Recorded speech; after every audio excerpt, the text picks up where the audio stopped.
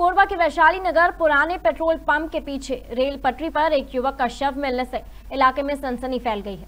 Rail कर्मी ने मामले की सूचना पुलिस को दी। मौके पर पुलिस पहुँची और पहुंचकर शव को बरामद किया और पोस्टमार्टम के लिए भेज दिया। मृतक की पहचान उसके जेब से मिले आधार कार्ड के अनुसार गोपाल विश्वकर्मा के नाम से हुई है। वहीं घटनास्थल के पास से ही मृतक की बाइक भी बरामद हुई है।